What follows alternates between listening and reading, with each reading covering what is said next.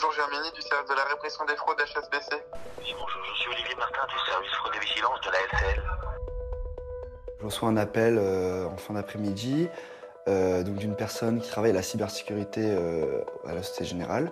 J'ai reçu un, un appel sur mon téléphone et c'était le numéro de la banque. Je vous appelle parce qu'on a des tentatives de paiement de, de- sur votre compte d'un site de paris sportif en ligne en Angleterre. Des autorisations sur votre carte qui apparaissent depuis la Russie. Euh, je doute fort que été faire un tour en Russie. On va bloquer tout de suite cette, cette fraude, donc il faut agir vite. Elle a détourné un paiement de 1500 euros provenant de Marseille, mais vous inquiétez pas, on va régler le problème. Je vais vous rassurer, rien n'a été débité, c'est-à-dire que les sommes sont seulement autorisées.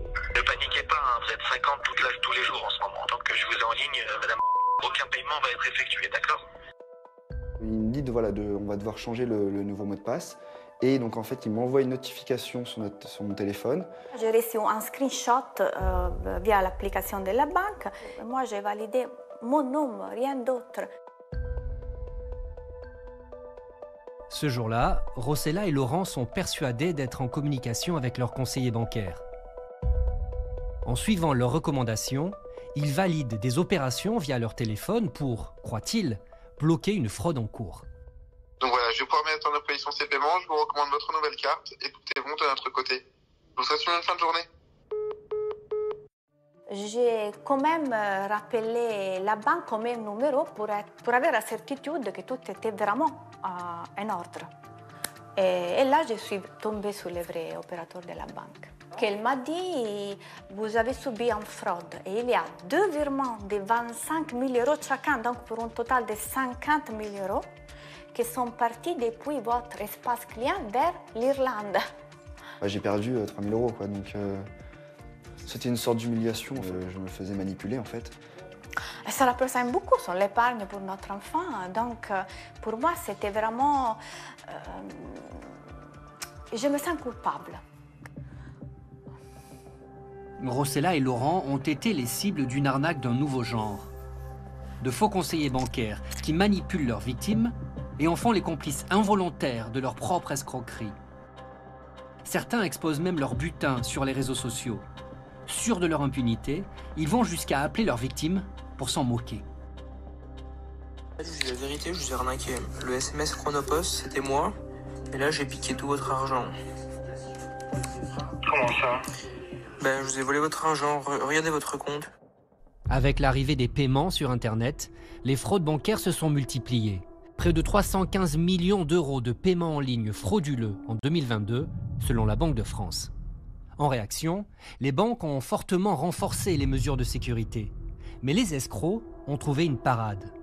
Pour les contourner, ils manipulent les clients. les escrocs vont s'adapter.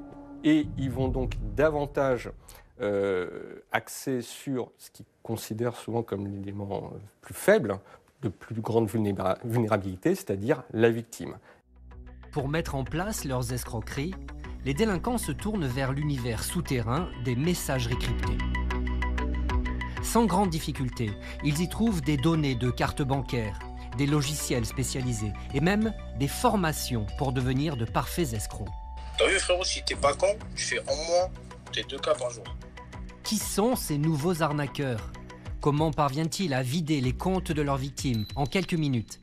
Pourquoi les banques refusent-elles le plus souvent de rembourser les clients?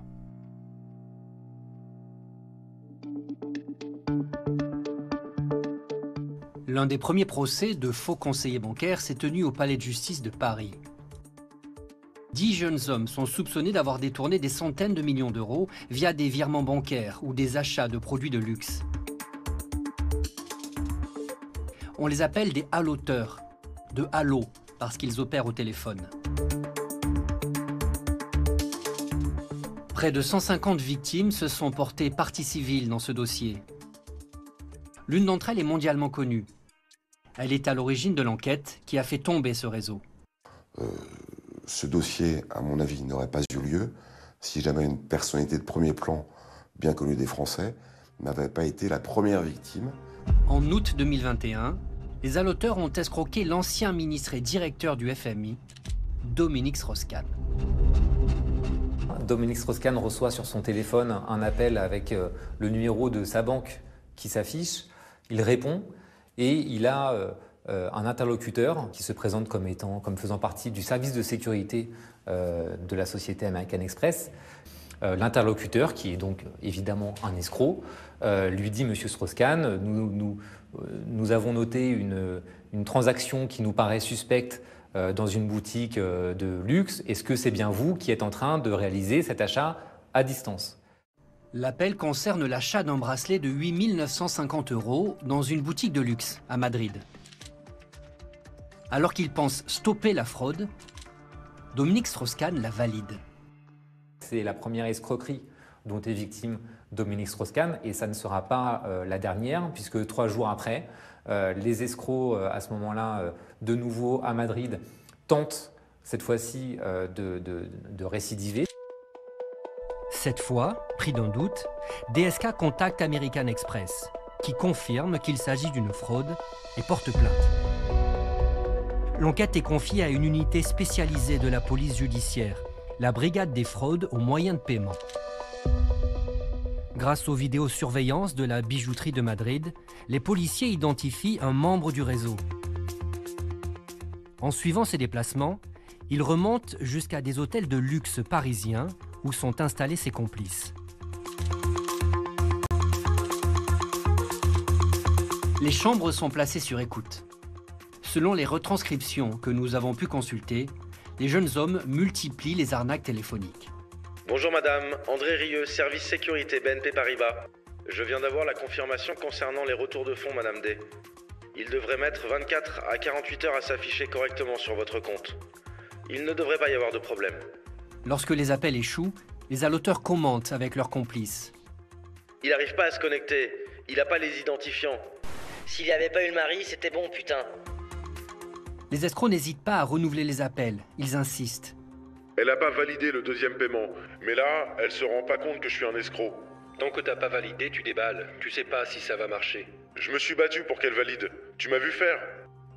Quand tu prends un hôtel à 1000 euros la nuit, il faut qu'elle déballe.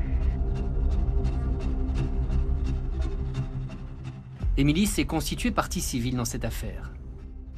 Lorsqu'elle a été appelée par un faux conseiller bancaire, elle n'y a vu que du feu.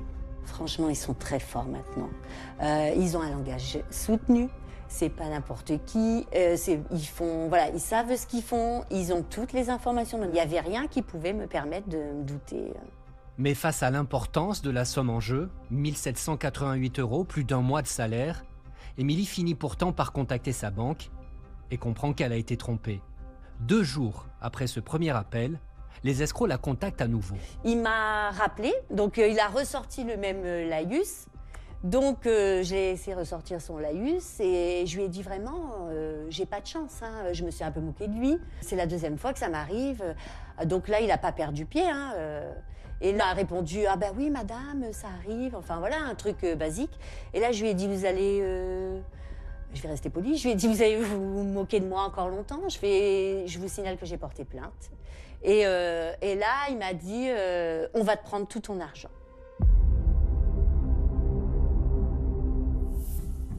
C'était plus la même chose, quoi. C'était plus la même personne.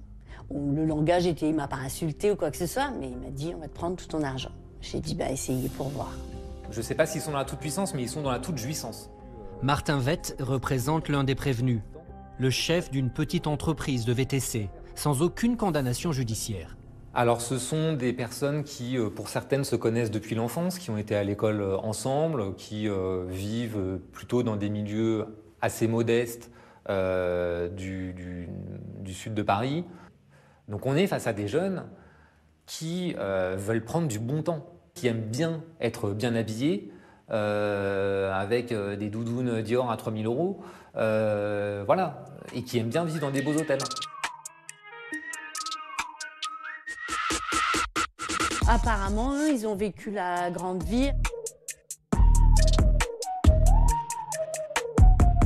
Ils ont loué des chambres d'hôtel de luxe, euh, ils ont pris des billets d'avion, euh, ils ont mené la grande vie achetait les fringues, qu'on changeait d'hôtel tout le temps, qu'on vivait aux frais de la princesse, euh, c'était de l'argent facile. Ils manipulent des liasses de billets parfois directement dans le hall d'hôtel. Euh, au vu et au su de tous, et notamment des caméras de surveillance de l'hôtel qui les filment, c'est le dossier de la flambe. Sur d'autres images, il ramasse des liasses de billets tombés au sol dans le couloir de l'hôtel.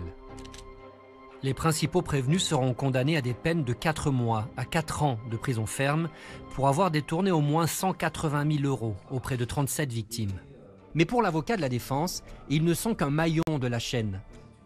Les arnaques seraient impossibles sans un vaste réseau de complices. Ce ne sont pas des informaticiens, ce ne sont pas des hackers, ce ne sont pas des pirates informatiques, ce ne sont pas eux qui sont allés récupérer euh, les données bancaires des victimes pour ensuite les escroquer. Eux, on leur a donné des données bancaires clés en main, moyennant de l'argent, et après, charge euh, à eux de réaliser des escroqueries pour, entre guillemets, se servir. Mais ce ne sont pas eux qui ont été piratés euh, ces, ces données. Franchement, j'avais vu ça sur des forums, on va dire. Ouais. Ça m'avait tenté, je voulais faire de l'argent facile. voilà. Vous ne verrez pas son visage, il a lui-même modifié sa voix. Ce jeune escroc connaît tous les méandres de Telegram. C'est sur ce réseau social crypté que les arnaqueurs achètent les données bancaires de leurs futures victimes. Un vaste marché souterrain s'y est développé, dans lequel le haloteur n'est qu'un des acteurs de l'arnaque. La plupart du temps, tout commence avec des SMS envoyés massivement, les fameux spams qui inondent nos téléphones.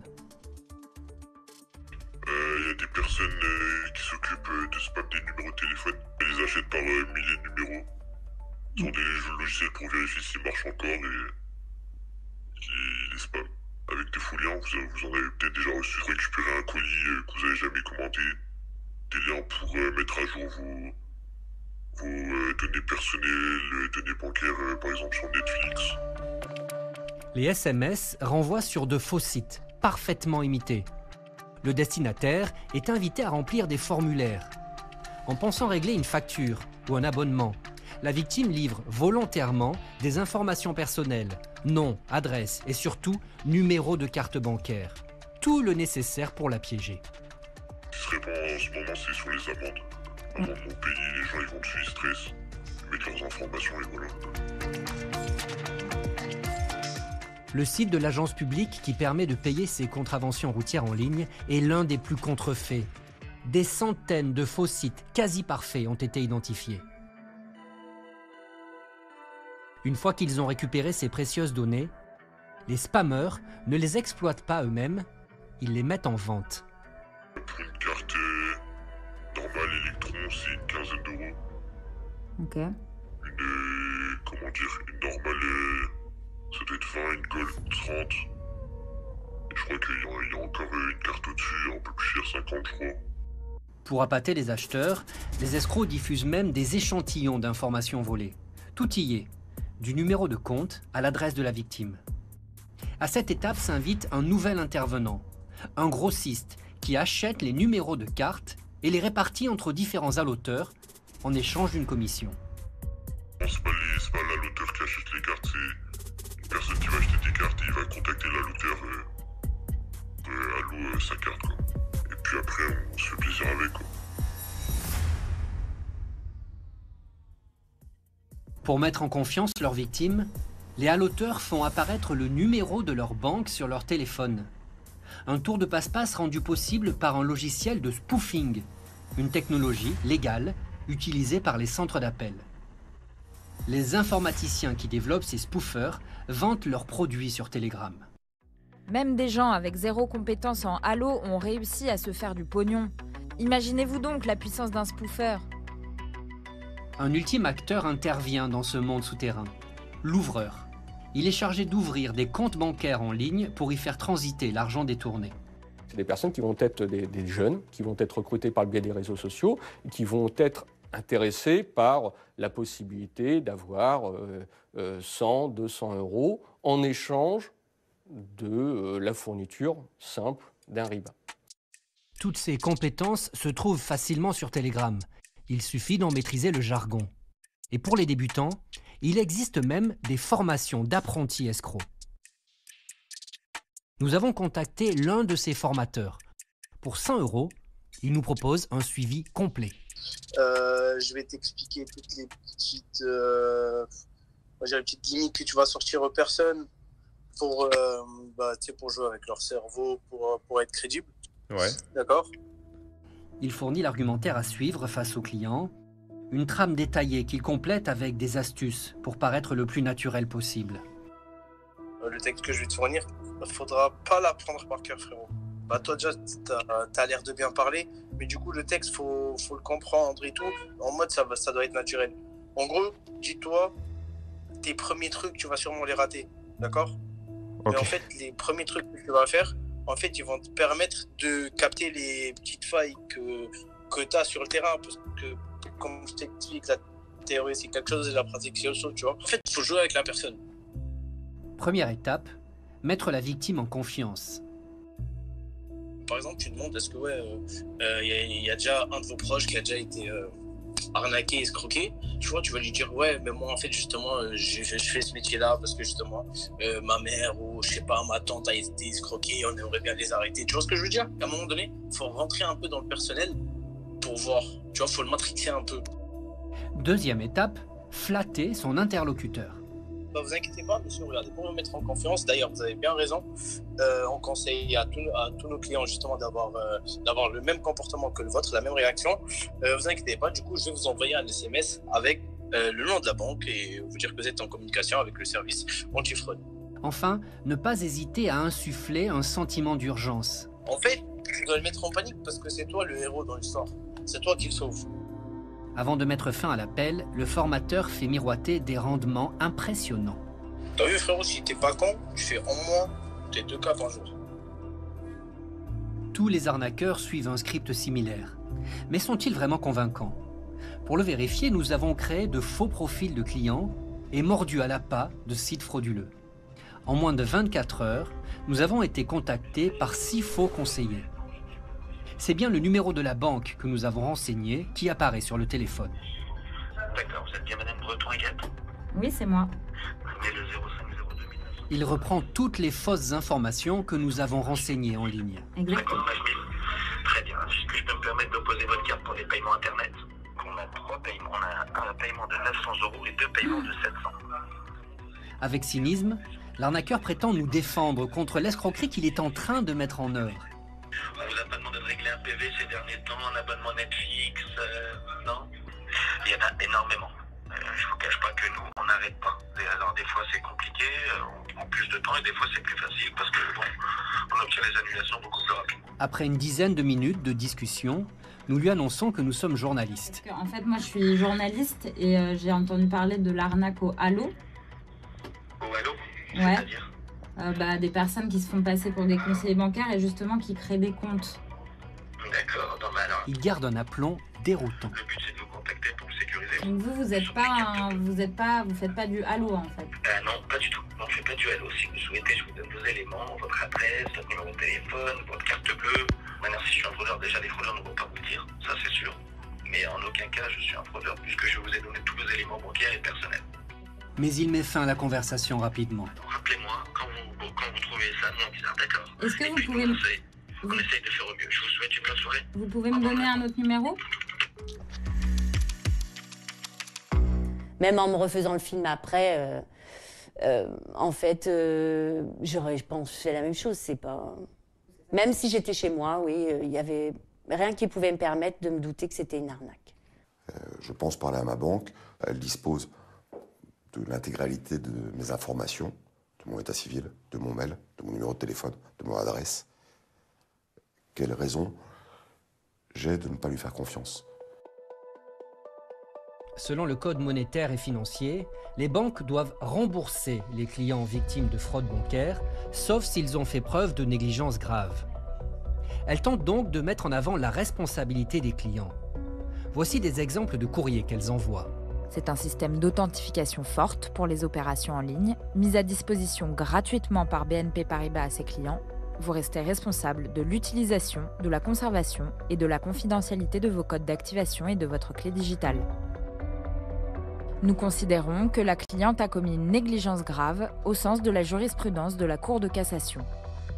En clair, seule la négligence du client a permis à l'escroc de contourner les mesures de sécurité de la banque. J'estime et euh, je suis persuadée qu'il n'y a pas eu de négligence grave du client, de négligence pour ma part. Euh, je suis victime dans cette affaire, comme beaucoup de monde.